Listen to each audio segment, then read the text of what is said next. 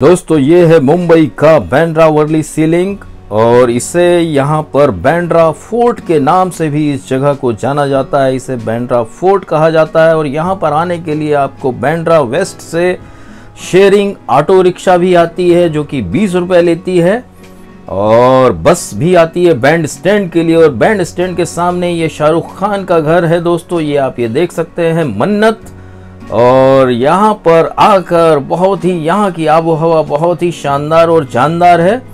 ये यहाँ की आबो हवा को आप ये देख सकते हैं दोस्तों, और यहीं पास ही में शाहरुख खान के घर के करीब में ही दीपिका पादुकोण और रणवीर सिंह ने अपने सपनों का घर लिया है, जो कि 119 करोड़ का घर। ये आप ये देख सकते हैं दोस्तों, दीपिका पादुकोण और रणवीर सिंह का और इस जगह को बैंड्रा किला कहा जाता है और यहाँ पर आकर एंजॉय करिए।